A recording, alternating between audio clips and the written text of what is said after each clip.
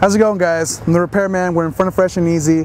Um, there's some union members in front of the store, and they're asking the customers not to shop here today to support the workers. We're going to ask those customers why they chose not to shop here today. Let's go. I do like to shop at Fresh and Easy because they have relatively low prices. It's a small store. It's very convenient for me. I live in the neighborhood.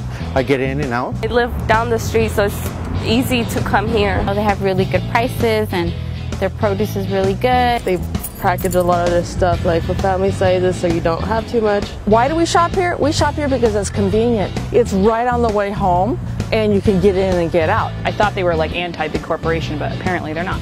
I, I really like Fresh and Easy, but if they're pressuring people not to be in a union, then I don't see a point in doing that because it's unfair.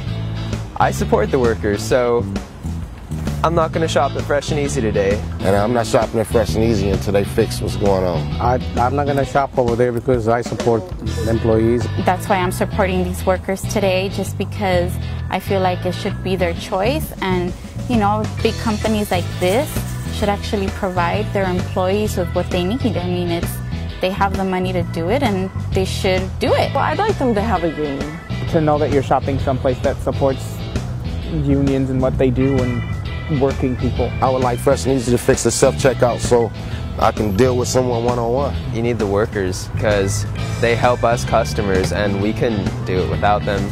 So let them form their unions. They're still going to work for you. They just need to have that support system. I would come back here if they would treat their workers in a more fair manner. Because all workers should have rights and they shouldn't be retaliated against for saying anything. Together we can fix Fresh and Easy, and if you want more information, go to fixfreshandeasy.org.